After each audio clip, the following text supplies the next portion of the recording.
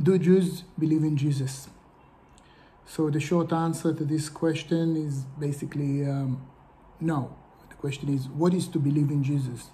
So Jews, like any other person, we accept history.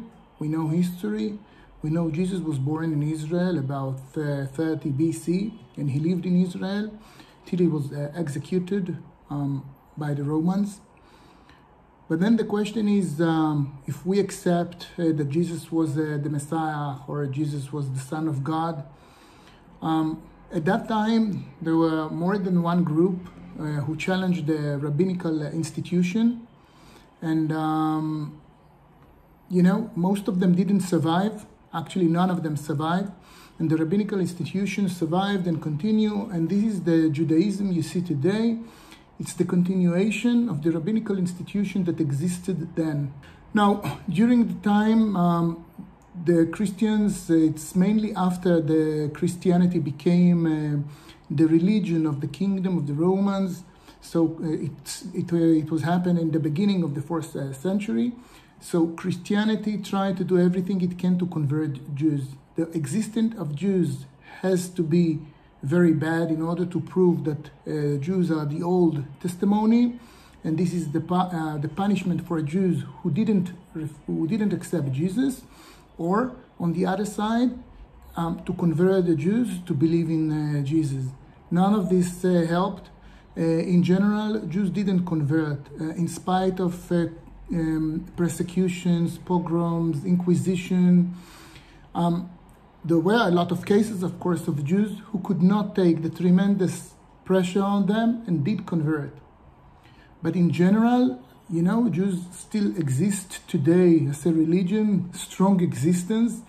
So the result means that Jews never really um, uh, converted in mass as a mass movement. We had cases here and there.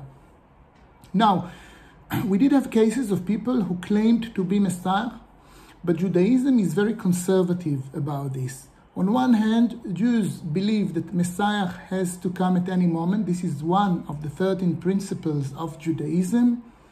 But on the other hand, Jews are very conservative about, uh, about this concept of Messiah. So usually no one in uh, the Jewish people will, will accept anyone who claims to be the Messiah. We had a few examples, Shabtai Tzvi, um, uh, 200, uh, 300 uh, years ago. After him, it was in the 18th century. After him, we had uh, Yaakov Frank. Both of them claimed to be the Messiah. They raised a lot of hopes in the Jews people at that time. Jews had very difficult life and uh, the rumors and spread quickly about the new Messiah, that uh, the Jewish Messiah that appeared from somewhere. But uh, the, the end of the story was uh, very sad. Uh, Shabtai Tzvi converted to Islam, and uh, uh, uh Jacob Frank turned out, of course, to not to be the Messiah. everyone expected, not everyone, but some people did. A recent example, not exactly the same, but recent example is from the last century. I guess many people familiar with the Lubavitcher, Rabbi Milubavitch and Chabad movement. This is a great movement uh, inside the Jewish people. Uh, but after he died, some of the people in this movement consider the Rebbe um, to be the Messiah. Uh, it was never accepted out of Chabad, and even in Chabad, there was a lot of uh, a lot of uh, argues about this we do see sometimes, we do see sort of uh, campaigns about the Rabbi, uh, that he is the Messiah till today, but uh, no one treats this uh, seriously.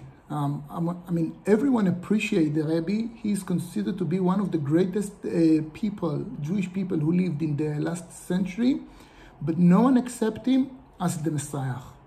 The rules uh, to be Messiah were phrased by the Maimonides who lived 800 years ago, and he gave rules who should be the Messiah, and the rules are very practical. The Messiah eventually should be someone that will enable the Jewish people to live in peace independently, like we live today in Israel, but uh, in peace and without being depending in any uh, uh, external power of, uh, or superpower or force. So we definitely far away from this point. But the outcome of this uh, uh, rule is that the Messiah will not be identified before, before he's doing what he has to accomplish. But the Messiah will be recognized probably after that. So if we live in peace and if we get to this uh, almost uh, utopia um, of peace and uh, very independent without any uh, uh, any problem and any uh, dependency on external power, so the leader who brought us to this should be considered as the Messiah. So we will never be able to tell before that. So to go back to the first question, do Jews believe in Jesus? The answer is no. Jews do not believe in Jesus as the Messiah. Jews never accepted anyone to be the Messiah. I mean, they never accepted anyone who claimed that he's the Messiah. They never recognized him as the Messiah. And I gave a few examples of it. So in this regards, Jesus is no exception. But in the case of Jesus, there is something which is even worse for the Jews to accept. And I'm talking now about the Jews that remain uh, religious. As you know, not all of the Jews today religious. Actually, most of the Jews uh, uh, secular. Or may I say um, traditional people, but not uh, real religious people. But the fact that Jesus uh, himself is part of God, this is something, something which is unacceptable for the Jewish belief. Jews accept uh, the Jewish belief is that God is abstract, is uh, all around us, but it's not human. It's not something that you can see a human in front of you and say this is God. So this is something else that stand between the theological Judaism and Christianity. However, um, today the situation much better than we had before definitely with the evangelist Christians in America.